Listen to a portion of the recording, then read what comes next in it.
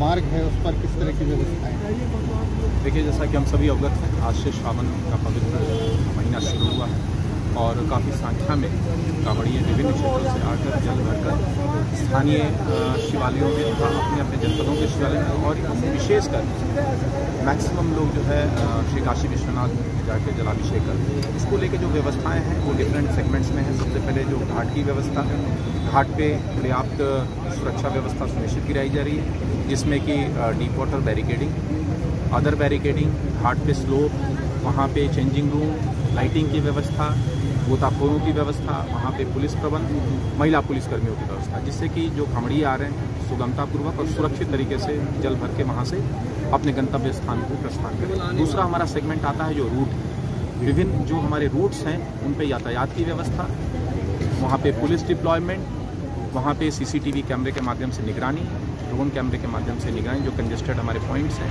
वहाँ पे ड्रोन के माध्यम से भी निगरानी। किसी भी तरह की दुर्घटना न हो, उसके लिए पर्याप्त पार्किंग डाइवर्जन और जैसा कि अभी डीएम साहब ने बताया भी कि एक लेन डेडिकेटेड कांवरियों के लिए आमंत्रित किया जा रहा है। जिससे कि उनके लेन में सामान्य आवागमन जो वाहनों का है वो ना हो सके। तीसरा हमारा सेगमेंट है डिफरेंट जो हमारे शिवालय हैं, जैसा कि श्री मधुरामेश्वर मंदिर है मुनेश्वर महादेव, कृष्ण पटीला महादेव मंदिर है, अन्य मंदिर वहाँ पे जलाभिषेक जो होता है, उसकी सुरक्षा व्यवस्था, उसमें भी दो तरह की व्यवस्थाएँ हैं, जैसे रूटीन पर डे की व्यवस्था और सोमवार के दिन तथा अन्य त्योहारों के दिन जो विशेष भीड़ होती है, उसको लेके जो हमारी सुरक्षा व्यवस्था उसको और स्ट्रेंथन की जाएगी। इसमें पर्याप्त संख्या में सिविल पुलिस की डिप्लॉयमेंट पीएससी की डिप्लॉयमेंट हमारी ट्रैफ़िक पुलिस की डिप्लॉयमेंट हमारी महिला पुलिस कर्मी काफ़ी संख्या में श्रद्धालु महिलाएँ भी आती है जलाभिषेक के लिए। उनको एक सुरक्षा का विशेष भाव रहे, उसके लिए महिला पुलिसकर्मियों की व्यवस्था। साथ ही साथ हमारे जो पुलिस मित्र हैं, हमारे एस्टिंग के सदस्य हैं, सिविल डिफेंस, सभी का हम लोग समुचित सहयोग लेके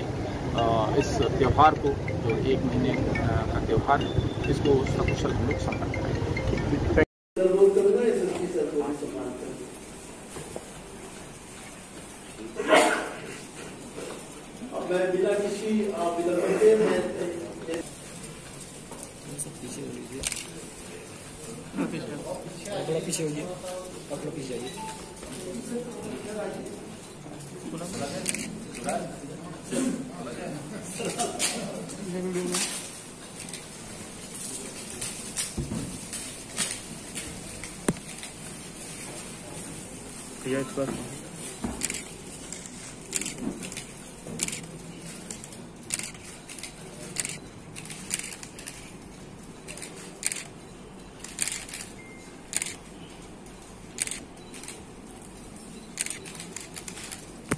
मिला उत्साह वर्धन हुआ सर हम हमें पूरा आपका आशीर्वाद मिला है मिलता रहेगा आगे भी और सर हम लोग जो है पूरा प्रयास करके रहेंगे और मैं अनुरोध करूँगा जैनी सर से आप दो सब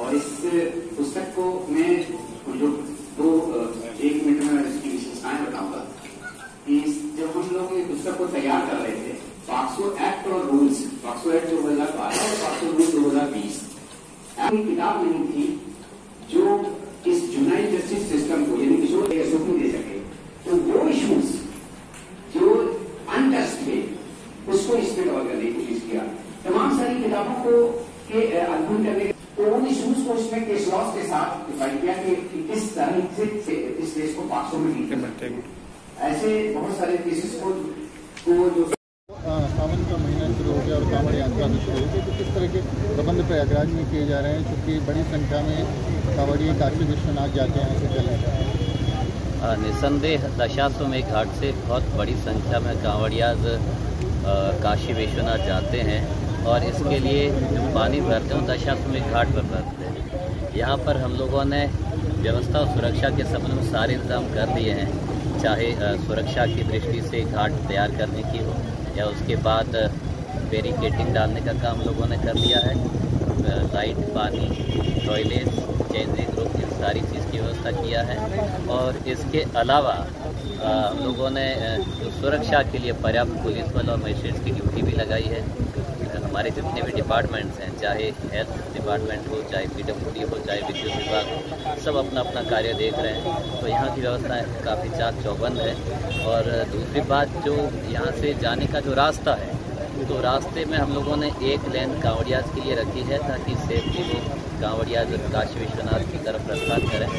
और बहुत सारे मंदिरों में जल चढ़ाने का परंपरा है जिसमें कामेश्वर है कोटेश्वर महादेव है मड़िला महादेव है इन सारी जितने भी टेम्पल्स है वहाँ पर हम लोगों ने स्टेट और पुलिस की पर्याप्त ड्यूटियाँ लगाई हैं। तो हमारी व्यवस्थाएँ चाक चौबंद और सुरक्षा व्यवस्था कर रही है। ड्रोन से भी निगरानी की जाएगी सुरक्षा को लेकर के खास करके? हाँ निसंदेह हम लगातार ड्रोन से चीज़ों को मॉनिटर करने का और आई ट्रिपल सी के कैमरा से जो भीड़ है उसको कंट्रोल और उनको मॉनिटर करने का काम निरंतर करते रहे हैं। तो इस बार भी हम आई ट्रिपल सी के कैमरा से और ड्रोन के माध्यम से निरंतर मॉनिटरिंग करते रहे। घाटों पर सर किसी तरीके की अव्यवस्था न फैले इसको लेकर के क्या निर्देश हैं? हम लोगों ने हमारे जितने भी घाट हैं उन सबको अच्छे से घाट तैयार करके बना लिया है। और घाटों पर हम लोगों ने जेटी की बैरिकेडिंग किया इसके अलावा हमारे गोताखोर और जल पुलिस भी लगी है जो सुनिश्चित करेगी कि हमारे घाट सुरक्षित रहे। कितनी फोर्सेज लगाई गई हैं सर? चलिए।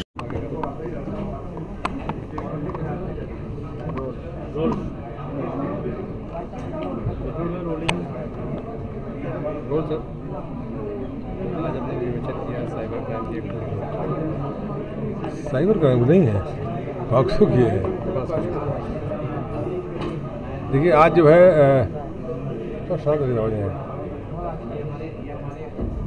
हमारे पुलिस विभाग के एक वरिष्ठ अधिकारी है अपर पुलिस अधीक्षक शिवराज ने एक पुस्तक लिखा जो कि पॉक्सो एक्ट से संबंधित है और उस पर उस पुस्तक आज यहाँ विमोचन किया गया।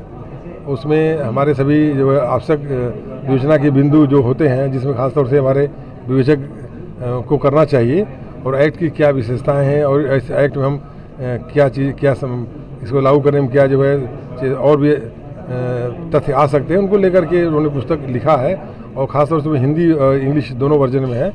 पुस्तक और इसको लेकर इसके पहले एक सेमिनार भी किया गया, जिसमें बाल संरक्षण को लेकर जो कठिनाइयाँ आती हैं, उसको लेकर के उसमें विचार रखे गए। हमारी जो से, दोनों सहयोगी लेखक जयदी सर और जयदी और शिवराज ने अपने विचार रखे। हमारे आई भी आए थे, जिनको लाभ हुआ है। और इस पुस्तक को हम सोचते हैं कि लिखने से हमारे बहुत ही योजना में सहयोग मिलेगा और आगे जो भी हमारी कमियाँ रहती है योजना में, जैसे कि सज़ा दिलाने में कठिनाई होती थी, उसमें कमी आएगी और अधिक से अधिक सज़ा हो सकेगी।